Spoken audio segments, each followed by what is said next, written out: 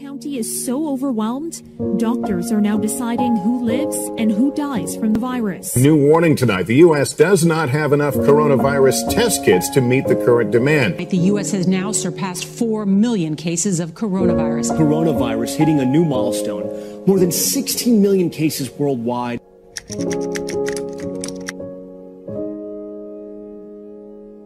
Amén. ¿Cuántos de ustedes creen que nosotros alabamos a un Dios grande, un Dios poderoso, un Dios omnipotente, un Dios que siempre está con nosotros, un Dios que nunca nos deja, un Dios que nunca nos abandona? Estamos aquí porque queremos alabar el nombre de Dios, es porque queremos conectarnos con Él, queremos escuchar la palabra de Dios en esta mañana. Así que puede tomar asiento, si usted está de pie puede tomar asiento.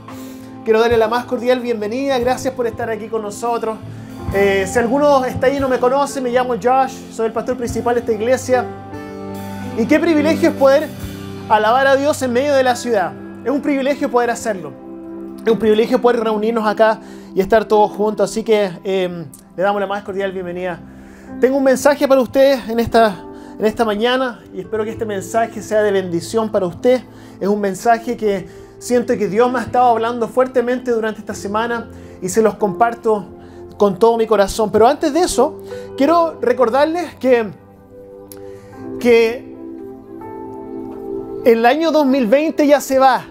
Así que podemos decirle adiós al 2020 casi. Hágale así. Chao, 2020. Chao. Fue un gusto conocerte. Ojalá nunca más nos volvamos a reencontrar. Pero el año 2020 ha sido difícil. Ha sido difícil. Eso es innegable. Pero comienza el año 2021 y de hecho estamos en una serie ahora que se llama Visión 2021. Y realmente lo que estoy tratando de hacer y lo que quiero invitarlo que usted haga conmigo es poner nuestra fe, nuestra fe de que el año 2021 va a ser un excelente año, en todo sentido. Ahora, nosotros no tenemos el poder de decirle a Dios lo que Él va a hacer o no va a hacer. Sin embargo, lo que nosotros podemos hacer es poner nuestra fe creyendo con esta fe que Dios mismo nos da de que las cosas van a mejorar. Yo realmente estoy creyendo y estoy, quiero invitarlo a que usted crea conmigo de que el próximo año va a ser un año donde usted va a recibir esperanza en su vida. Va a ser un año para nuestra iglesia en la cual vamos a tener más bautismos que lo que hemos tenido. Eh, donde usted va a poder encontrar esperanza, donde los matrimonios van a ser restaurados, etcétera, etcétera, etcétera. Esa es mi oración. ¿Cuántos de ustedes están conmigo? Porque la alternativa es entrar al 2021 pensando que va a ser el peor año. Yo prefiero pensar positivo en ese sentido. Así que bueno, vamos a comenzar el año, el próximo año vamos a comenzar con un ayuno. Tal cual como uno comienza el día bien, para mí comenzar un día bien es comenzar con un buen desayuno, comenzar con oración y comenzar con la palabra del Señor. Y creo que lo mismo debiese ser para, para el, el, año 2021, que lo comenzamos bien. Comenzamos el año 2021, vamos a hacer un ayuno, le prometo que eso no significa que no vamos a, no vamos a comer nada durante 21 días, sino que vamos a comer sano. Porque hemos tenido Halloween, hemos tenido Acción de Gracias, hemos tenido Navidad, luego vamos a tener Año Nuevo y no sé usted, pero yo no he comido muy sano en estos días. Y mi cuerpo lo está sintiendo. Entonces vamos a desintoxicar nuestro cuerpo de todo ese exceso de azúcar, exceso de grasa, pero lo más importante va a ser que vamos a desintoxicarnos de todas las cosas que a nosotros eh, nos hacen sentir mal, que ponen nuestra mente en cosas que no sean las cosas de Dios.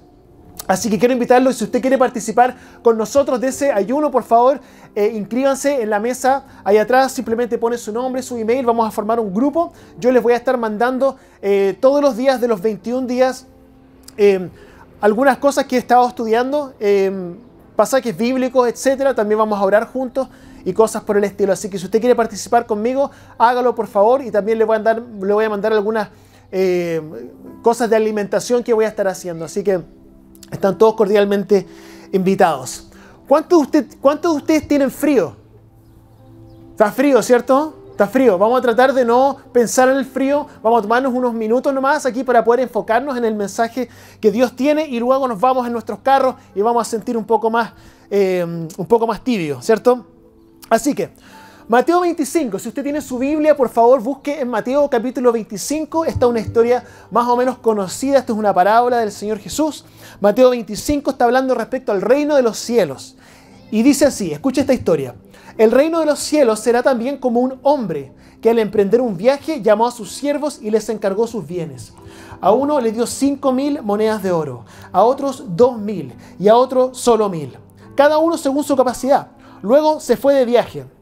El que había recibido las cinco mil fue y enseguida negoció con ellas y ganó otras cinco mil. Asimismo, el que recibió dos mil ganó otras dos mil. Pero el que había recibido mil fue, cavó un hoyo en la tierra y escondió el dinero de su señor. Después de mucho tiempo volvió el señor de aquellos siervos y arregló cuentas con ellos. El que había recibido cinco mil monedas llegó con otras cinco mil. Señor dijo, usted me encargó cinco mil monedas, mire, he ganado otras cinco mil. Su señor le respondió, hiciste bien, siervo bueno y fiel, en lo poco has sido fiel, te pondré a cargo de mucho más. Ven a compartir la felicidad de tu señor. Llegó también el que había recibido dos mil monedas. Señor, informó, usted me encargó dos monedas. Mire, perdón, dos mil monedas. Mire, he ganado otras dos mil. Su señor le respondió, hiciste bien, siervo bueno y fiel has sido, fiel en lo poco, te pondré a cargo de mucho más. Ven a compartir la felicidad de tu señor. Después llegó el que había recibido solo dos mil monedas. Solo mil monedas. Señor explicó, yo sabía que usted era un hombre duro que cosecha donde no ha sembrado y recoge donde no ha esparcido. Así que tuve miedo y fui y escondí su dinero en la tierra. Mire, aquí tiene lo que es suyo. Pero su señor le contestó, siervo malo y perezoso.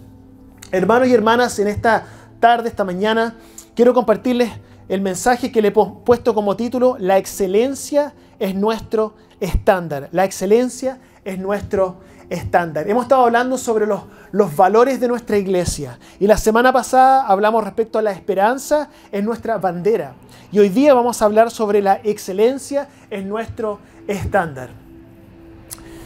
Bueno, yo tengo 45 años y mi cuerpo lo sabe, lo está comenzando a sentir. Yo por dentro me siento que tengo 19 años, pero me doy cuenta que a veces me duele un poco la espalda y me estoy dando cuenta que los años ya lo estoy empezando a sentir un poco. Estaba teniendo una conversación con alguien el otro día, una mujer de alrededor de 70 años, y yo le dije, yo creo que hay una edad que es la edad del cuerpo y hay una edad que es la edad del alma. La edad del alma significa que hay una edad que el alma tiene. Por ejemplo, mi mamá tiene 70 años, pero yo creo que ella tiene 12 años interiormente, por cómo es ella.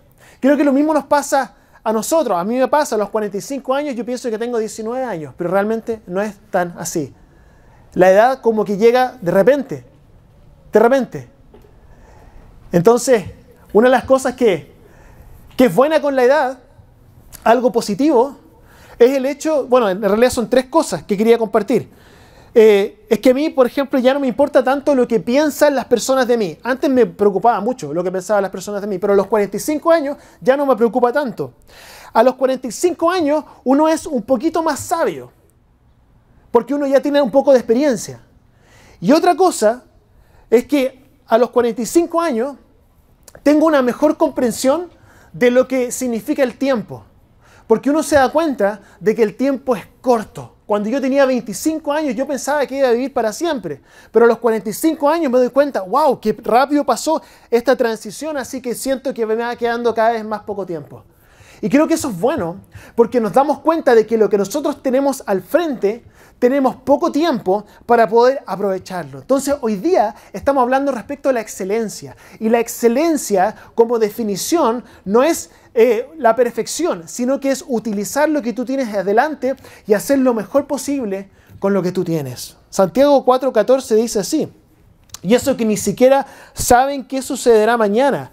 ¿Qué es la vida? Ustedes son como una niebla que aparece por un momento y luego se desvanece. La vida, hermanos y hermanas, la vida empieza y termina. Igual que una, una espuma, ¿cierto? Igual que una niebla. La niebla aparece y desaparece. La vida es lo mismo. Y en retrospectiva es mucho más fácil entenderlo. No sé si usted está conmigo, se da cuenta que la vida pasa rápido, ¿no? Los años pasan así, rápido, rápido, rápido, rápido. Es importante entender esto. Es importante entender que la vida pasa rápido. ¿Por qué? Porque nos damos cuenta que lo que tenemos no lo vamos a tener mucho tiempo. Entonces tenemos que aprovechar lo que tenemos. Tenemos el tiempo limitado. Y hay cosas que nosotros tenemos. Tenemos tiempo, tenemos talento, tenemos tesoro. ¿Qué es lo que significa eso? Tenemos un tiempo limitado en la tierra, pero no solamente tenemos tiempo limitado, sino que tenemos también cosas que Dios nos ha dado, que son nuestros talentos, nuestras habilidades que Dios nos da, y también tenemos nuestros recursos, las cosas que nosotros poseemos. Pero todas estas cosas son limitadas.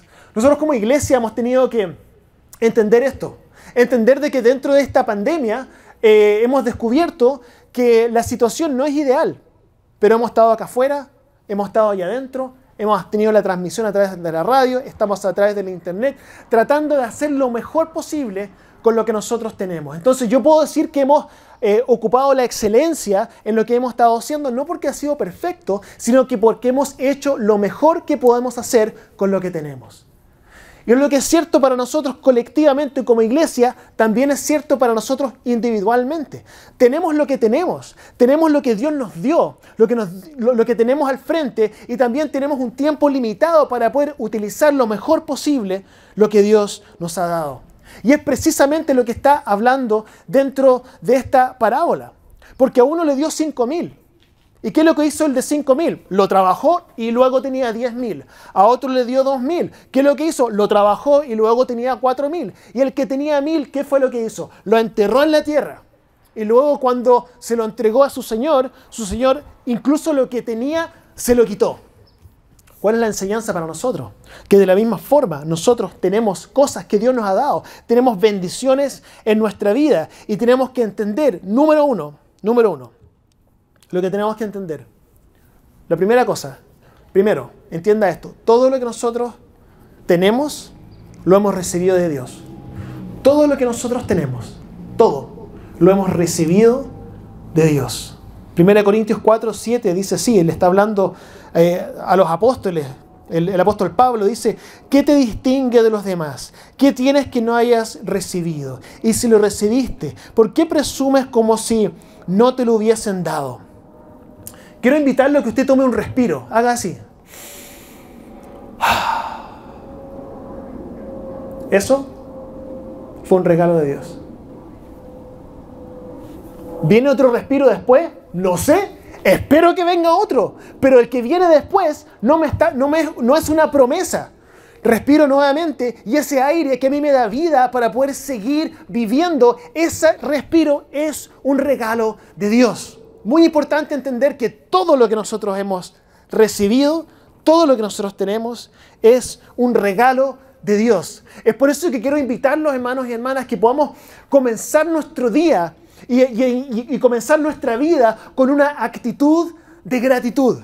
Que podamos entender que todo lo que nosotros tenemos lo hemos recibido de Dios y que muy pocas de las cosas que nosotros tenemos frente a nosotros han sido resultado de todo lo que nosotros hemos hecho. Comencemos nuestra vida con gratitud.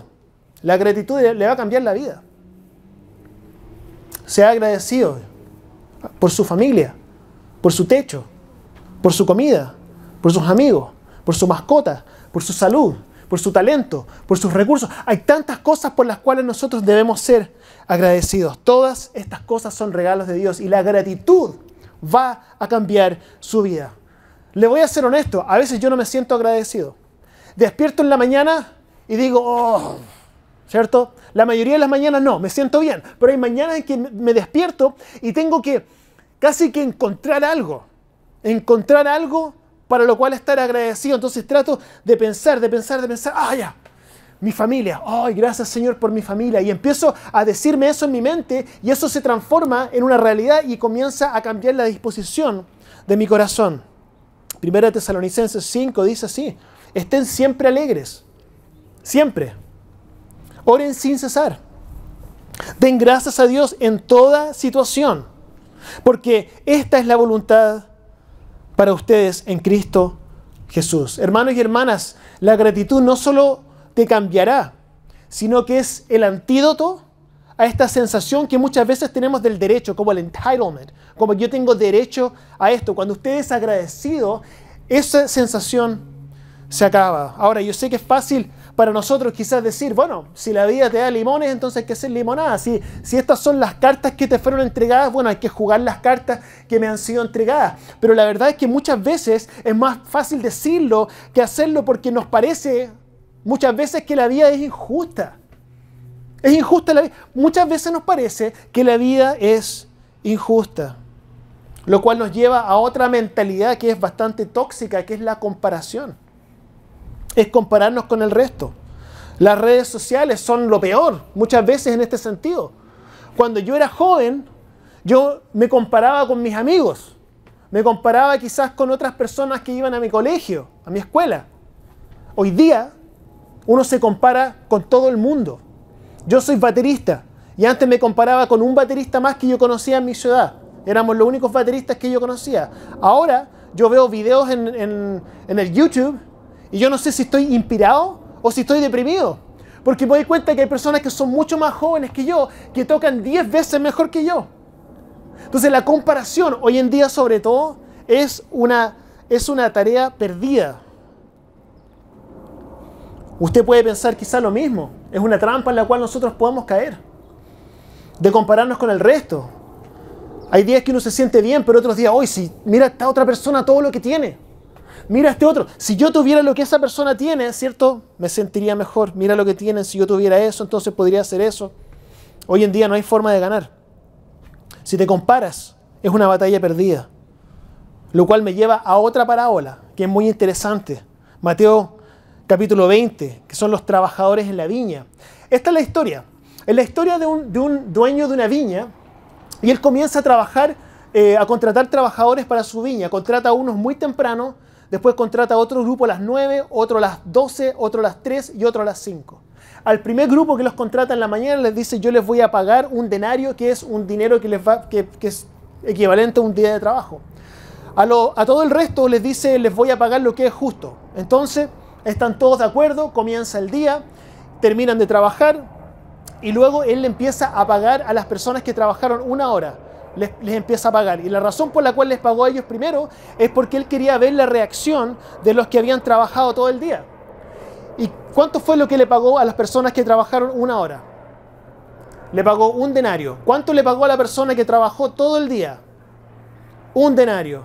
Esta persona estaba agradecida esta persona lo encontraba injusto y empezó a reclamarle al dueño de la viña que por qué nos pagaba solamente un dinario si nosotros trabajamos todo el día y él trabajó solamente una hora.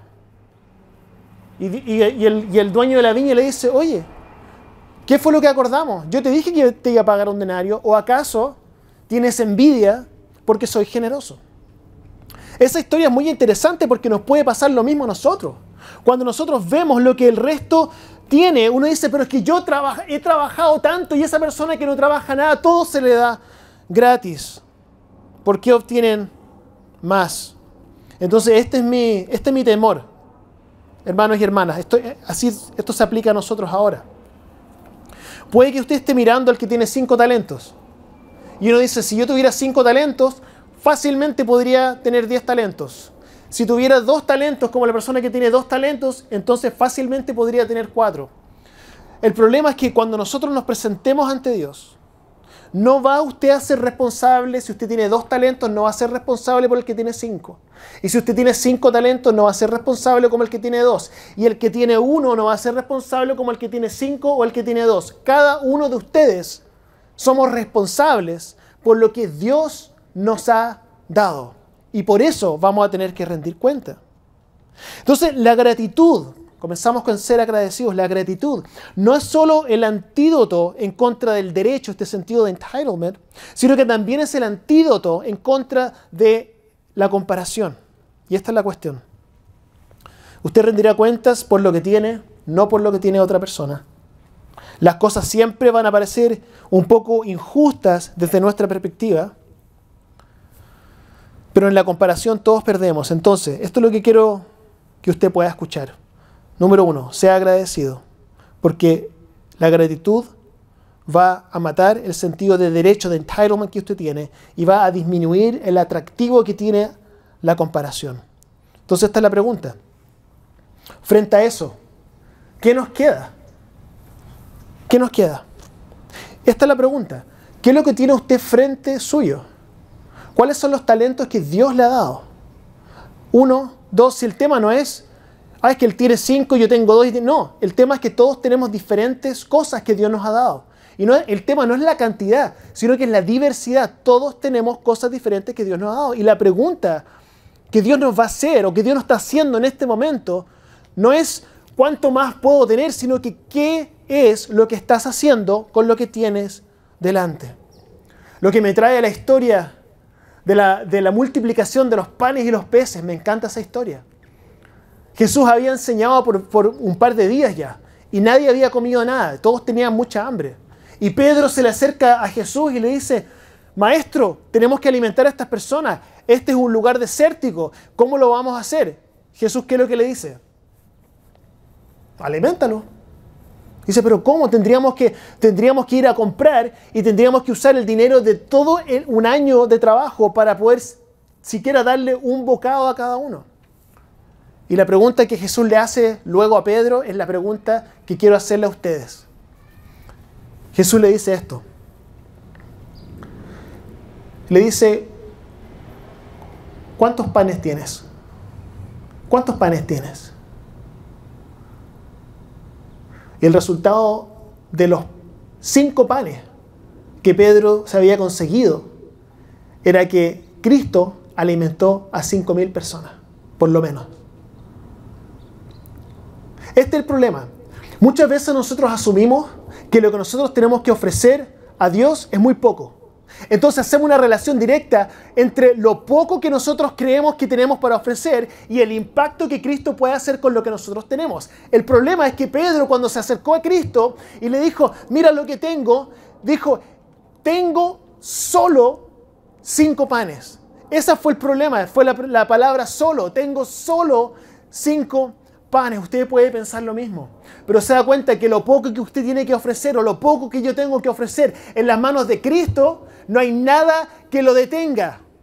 Nunca piense usted que lo que tiene usted que ofrecer es muy poco. Nunca.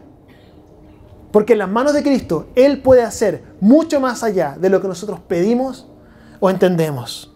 ¿Cuántos panes tienes? Es la pregunta. Entonces esta mañana quiero invitarle a que mire lo que usted tiene al frente, lo que Dios le ha dado. No lo que usted debiera tener, o lo que usted tiene derecho a tener, o no lo que otros tienen, que se podría decir que cada uno de nosotros se nos ha dado una cierta cantidad de panes, por así decirlo. Usted puede pensar que lo que usted tiene es muy poco. Y esto es lo que quiero que usted escuche en esta mañana, que es muy importante. Muy importante. Lo que usted tiene para ofrecer a este mundo es único. Lo que usted tiene para ofrecer es único. Salmo 139, 14 dice así, Te alabo porque soy una creación admirable. Tus obras son maravillosas y esto lo sé muy bien. Usted no fue ensamblado así al azar. Si usted está vivo en este momento es porque Dios tiene un plan para usted. Es porque Dios tiene un propósito para usted. Fuiste creado a propósito y con un propósito. Nunca subestimemos lo que tenemos en nuestra mano. Y el temor que tengo es que usted vaya a tomar su talento y porque piensa que es muy poco, lo va a enterrar. Y al final del día, incluso lo que usted tiene le va a ser quitado. ¿A qué me refiero con esto? Si nosotros no ponemos lo que tenemos en las manos de Cristo para que Él haga su propósito con lo que nosotros tenemos, incluso lo que tenemos se nos va a ser quitado. ¿Y qué significa eso? Que va a haber un potencial que nosotros tenemos que ofrecer que nunca va a ser aprovechado. Efesios 2.10 dice así, porque somos hechura de Dios. Otra traducción dice, somos la obra maestra creados en Cristo Jesús para buenas obras, las cuales Dios dispuso de antemano a fin de que las pongamos en práctica. Esto es lo que me imagino cuando leo eso. Usted ha entrado al grocery store, al supermercado, y toma un, un, eh, eh, un carro, ¿cómo se dice? Un cart, un cart, ¿cierto? Y empieza a avanzar y se da cuenta que el cart se está yendo para ese lado. Y usted quiere ir para ese lado y se va para el otro lado y lo empieza a empujar. Y no hace lo que uno quiere. Y uno tiene que tomar una decisión en ese momento. Voy a tomar este carro y voy a seguir o voy a devolverme a sacar otro. Y yo muchas veces simplemente sigo, digo, bueno, le voy a poner más groceries y quizás se va a arreglar en el camino, pero vivo, estoy todo el tiempo frustrado porque no está haciendo lo que yo quiero hacer. ¿Por qué les cuento eso? Porque muchas veces pienso que así es cuando nosotros no estamos viviendo dentro de, de la forma en que Dios nos creó. Estamos siempre batallando, sintiendo como que no, es que esa persona y este otro, pero cuando tú te das cuenta que Dios te dio ciertas cualidades y estás viviendo dentro de esas cualidades que Dios te dio, empieza tu vida a fluir de otra forma. Es lo que me pasa a mí cuando dejo de compararme con el resto. Cuando estoy conforme con lo que tengo, empiezo a fluir de otra forma, confiando en que Dios va a hacer lo que Él puede hacer con lo que tengo que ofrecer, aunque muchas veces yo sienta que es poco. Una de mis eh, pasiones es poder ayudar a las personas a, encontrar cómo Dios los formó, qué, son los talentos que tienen para poder ser puestos en, las manos de Dios. Y, las preguntas que hago son, tres, son tres preguntas. Y esas preguntas se las quiero hacer a ustedes en esta mañana. Tres preguntas para poder descubrir qué es lo que Dios, cómo Dios te ha formado para poder vivir dentro de esto. Tres preguntas. Uno, la pregunta número uno es, ¿qué te rompe el corazón? ¿Qué es lo que a ti te rompe el corazón? ¿Qué es lo que a ti te produce tristeza? Porque muchas veces lo que a ti te produce tristeza es una de las cosas que Dios va a poder usar para poder trabajar en esa área.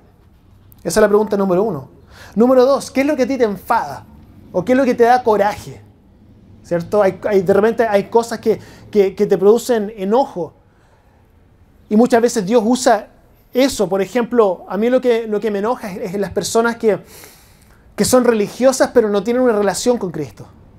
Entonces eso es como algo que a mí me mueve, me mueve a poder trabajar. Número tres, número tres, y esta es la pregunta más importante. ¿Qué es lo que tienes? ¿Qué es lo que tienes al frente? No lo que tiene otro o no lo que deberías tener, sino que qué es lo que Dios te puso al frente. ¿Cuáles son los panes que tú tienes para ofrecer? a Dios. Entonces, el llamado de esta mañana es que, es que usted no entierre lo que tiene. Porque cuando hablamos sobre excelencia y hablamos de que la excelencia es nuestro estándar, ¿qué es lo que significa? Significa que no nos comparamos con nadie, no sentimos que tenemos el derecho de tener más, sino que estamos agradecidos y hacemos lo mejor con lo que Dios nos ha dado. Y le presentamos a Jesús lo que tenemos. Y Él puede hacer con eso más abundantemente de lo que nosotros pedimos o siquiera podamos imaginar. Quiero terminar con esto. Escuché a un pastor una vez decir que cuando nosotros estemos en la presencia de Dios, que Dios nos va a hacer dos preguntas. La primera pregunta va a ser, ¿qué es lo que hiciste con mi hijo? En el fondo, ¿aceptaste a Cristo lo seguiste? Y la pregunta número dos va a ser, ¿qué es lo que hiciste con lo que te di? La primera es una cuestión de salvación. ¿Qué hiciste con mi hijo? La segunda es una pregunta de propósito. El domingo pasado se me acercó alguien después del servicio, del primer servicio, se me acerca y me dice, mira, tengo este talento, me gustaría poder usarlo para la iglesia. Casi le di un abrazo, no podía abrazarlo porque estaba en COVID, ¿cierto? Pero estaba tan feliz porque esa, es la forma en que yo creo que nosotros debemos presentar lo que nosotros tenemos ante Dios. Muchas veces pensamos que lo que, tenemos no, va a servir, pero Él se puso frente a mí y vamos a empezar a trabajar con Él. La semana hace unas semanas atrás estábamos hablando de un desafío de, eh, una ofrenda especial para nuestra iglesia y ustedes fueron increíblemente generosos con la iglesia. Entonces muchas veces siento que lo que estoy haciendo es, como eh, preaching to the choir, es como decir, eh, invitarlos a hacer algo que, que ustedes ya están haciendo, pero se dan cuenta que cuando uno trabaja dentro de la gracia que Dios le dio a cada uno, la vida empieza a fluir de otra manera. Con esto termino. El próximo año nosotros vamos a, el 2021, vamos a comenzar equipos de servicio. Vamos a tener eh, por lo menos 10 equipos de servicio dentro de nuestra iglesia. Y yo quiero invitarlo a que usted participe en uno de estos equipos. Van a haber diferentes equipos, diferentes cosas que vamos a hacer dentro de la iglesia, de todo el quehacer de la iglesia. Y quizá usted dice, bueno, es que no sé si me tinca este equipo o este otro. Inscríbase en uno. Y si no le gusta, se puede cambiar. Pero lo que yo quiero invitarlo a hacer es que cada uno de nosotros podamos no ser espectadores en el sentido de venir a la iglesia y observar, sino que podamos participar dentro del quehacer de lo que estamos haciendo. Así que eso va a ser el próximo año para que ya se estén eh, preparando para eso. Bueno, vamos a orar. Señor Jesús, quiero eh, darte las gracias por este tiempo, gracias por tu amor, gracias porque tú nos recuerdas algo tan importante y es el hecho de que tú nos diste talentos, nos diste diversidad de dones, nos diste nuestras familias, nos diste lo que tenemos. Quiero orar, Señor, que podamos nosotros recordar que todo lo que tenemos lo hemos recibido de ti. Que podamos comenzar nuestro día con agradecimiento.